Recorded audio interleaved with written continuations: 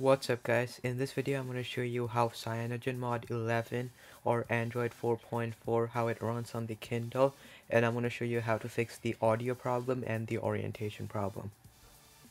So when you connect your headphone, if the headphone audio does not come out of the headphone, instead it comes out of the speaker, I'm going to show you how to fix that. So go to the volume section of the uh, sound section on Android and turn off save headset volume. That should fix that issue.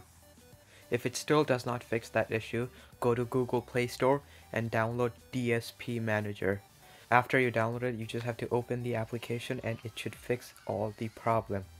Now for the orientation problem, search set orientation on Google Play Store.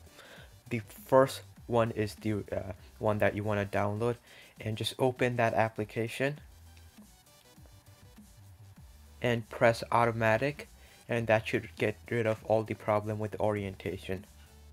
So now I'll give you a demo of how it runs on the Kindle, sort of my first impression. So the first thing you will notice after you get CyanogenMod 11 is the soft keys and the notification bar is transparent. So it looks like you get a lot more screen real estate because it's not blocking the screen. So let's go to about tablet and as you could see I'm running Android 4.4.2 I just updated uh, updated the version CyanogenMod uh, yesterday so there was another update. And let's just see how it runs. So if you tap the uh, Android 4.4.2 this is what you will see. Instead of Jelly Bean that you would have gotten on Android 4.3 or 4.2 now you get this let's go home. I'll give you a demo of web browsing. So let's go to the verge.com and let's see how the scrolling is. It's almost loaded? Okay. So I'm just gonna show you how it scrolls. It seems pretty smooth. It's a lot smoother than uh, what you would find in the Amazon OS because of Project Butter uh, you notice a huge difference when web browsing I couldn't even browse the web when I had Amazon OS because it was so laggy. Let's go to engadget.com. Takes a while and there. It's much smoother. It doesn't really lag that much as it used to, especially from uh, the Amazon OS and then after getting the Android 4.2 this is even better than Android 4.2 because of Android 4.4 it does not take that much hardware power to run Android 4.4 because the system requirement has been turned down. So even if you have a device with half a gig of RAM this should run pretty well. So now let's talk about the problems. For some reason, when I put the device to sleep after while watching a video, the HW decoder turns off.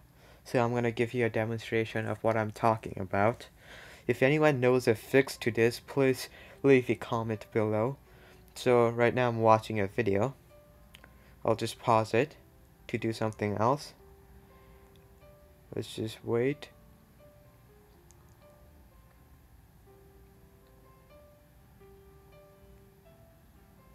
We'll come back, turn on the device, let's play the video.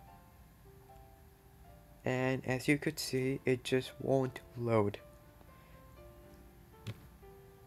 So after a few seconds, you get a play button. And you could see the video just won't play. So this happens to any HD video. So I figured out the problem. It's probably something to do with the HW decoder. So when I'm playing a video on MX Player, if I turn off HW decoder, the video works fine, but when I turn it on, the video just won't seem to play. I'm not sure what the problem is, but this is a huge problem. This is the reason why I would not recommend getting CyanogenMod, at least as of now. If this problem is fixed, I'll probably make another video. This is one of the huge problem because I can't watch any HD movie or HD video.